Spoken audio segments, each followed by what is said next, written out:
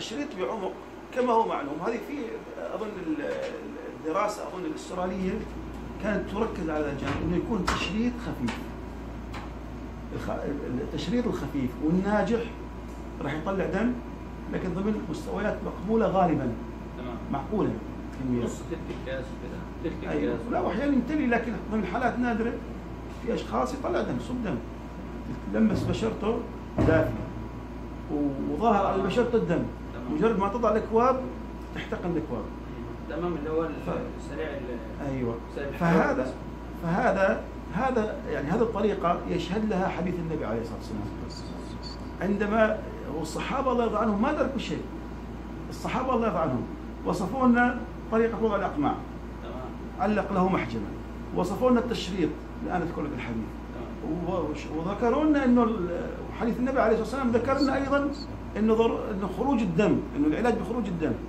الثلاث أشياء موجود كل منها واحد بحديث حديث القمع علق له محجما حديث إنه يكون التشريط خفيف قال حجمه بطرف سكين. حديث انه ضروره خروج الدم حديث آه، قال إذا تبيغ بأحدكم الدم فليحتجم. يعني يقصد إيش؟ أخرج الدم. نجد يعني نأتي ونقول إنه الحجامة هي فقط عبارة عن التشريط والحديث يقول اخراج الدم وكلكم الآن يعني أصحاب خبرات وتعلمون هذا الشيء إنه المريض على درجة خروج الدم يرتاح. صح؟ صحيح.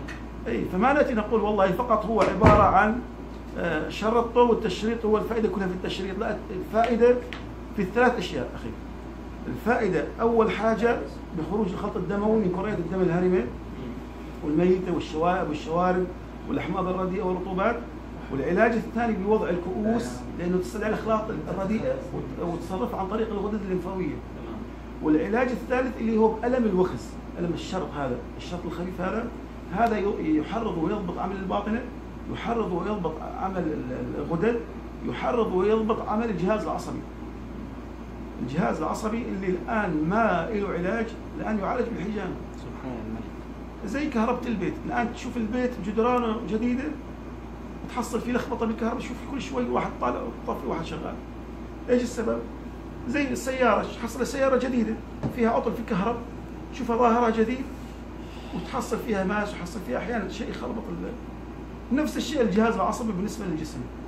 الحجامة يا أخي المبارك إذا صار في تكاملي ما بين هذول الثلاث أشياء واللي هي قواعد الأساسية الآلية ل- ل- لعمل الحجامة واستطاع أنه يعرف كيف يضع الكؤوس أن يضعها وي- ويكون التشريط صحيح سليم.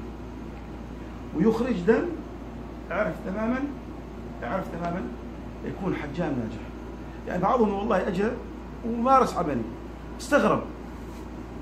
أنا حجمت المريض هنا وهو حجمه هنا.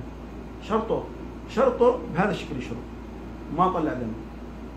وشرطته جنب جالس دربه واشرط أنا شرط خفيف جدا ويطلع دم. يقول لي كيف؟ كوب جنب الكوب.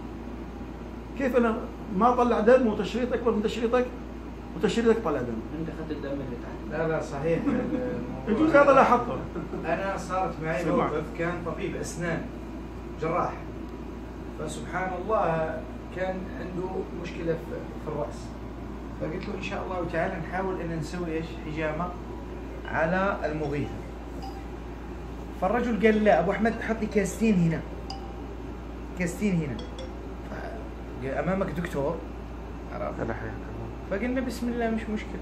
فمثابة القرنين. فحطينا الكاسيت ما طلع دم نهائيا قال خلاص نمشي على كلامك تشريط خفيف على المغيثة. سبحان الله طلع دم غزير. غزير وارتاح الرجل بعدها. هذا هذا يعتبر صديق خاص.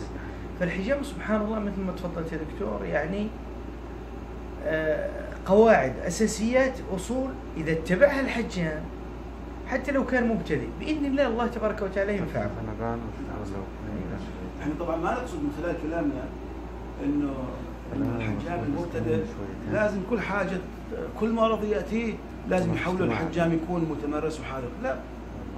يعني أغلب المشاكل والأمراض اللي ت- تأتي هي أمراض بسيطة وممكن إتقانها من خلال يعني رؤية المواضع مرة مرتين وخلاص. بس يمتلك الآلية.